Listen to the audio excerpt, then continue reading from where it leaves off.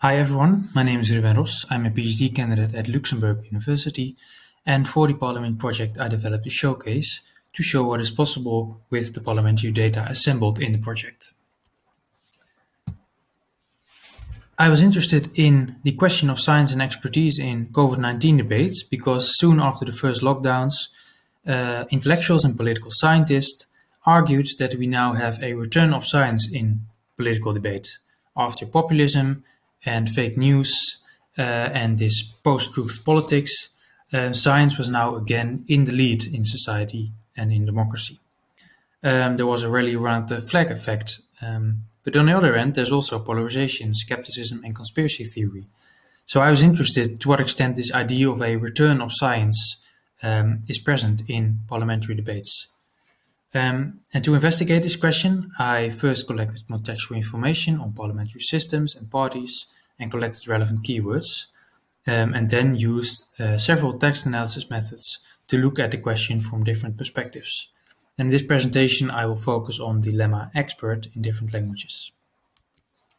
So if we assume that there is some kind of a return of science, uh, this could be reflected in frequency patterns in the different languages. So here are the normalized frequencies for expert in eight languages. Um, and indeed, there are some notable breaks in, for example, Italy, the Netherlands, and Spain, and to a lesser extent in Poland. There's an increase in the lemma expert in parliamentary debates. So that's interesting.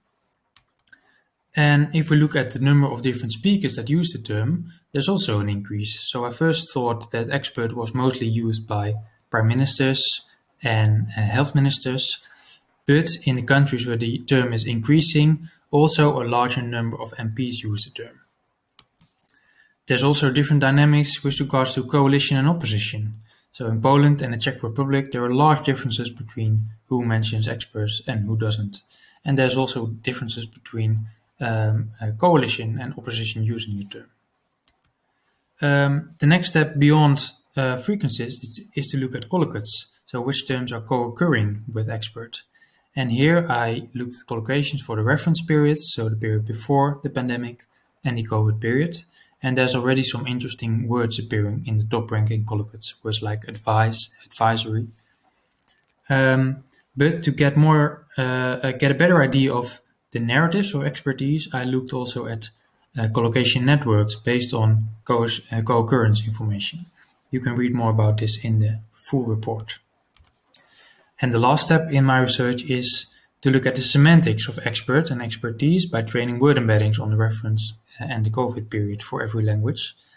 And here we can see the emergence of new institutional forms like the outbreak management team in the Netherlands, uh, but also new uh, senses like behavioral scientist and epidemiologist uh, compared to the expert as a consultant or an economist in earlier periods. So by using these word embeddings, we can come close to the semantics and also by means of the same networks where you look at the broader semantic fields surrounding expert. Um, to conclude, I uh, observed uh, in, uh, increasing frequencies in some countries, um, so that may hint at some kind of a return of science. But I also did uh, notice uh, changing language of expertise, primarily through the introduction of new institutional forms that are being established in the COVID period, an emphasis on advice and decision, uh, and new dominant senses like epidemiologist and virologist. Um, of course, only looking at the term expert uh, does not suffice, so I also looked at other terms, but I want to expand this a bit more in future work. Um, and one other thing that's interesting for the question, the question of a return of science, is uh, the question where the science was discussed more positively in the COVID period. Um, and I experimented with different sentiment analysis methods, but they are not really reliable. Uh, so I want to work more on that. And on the bottom, you can see uh, one of the visualizations based on sentiment analysis of one day of debate.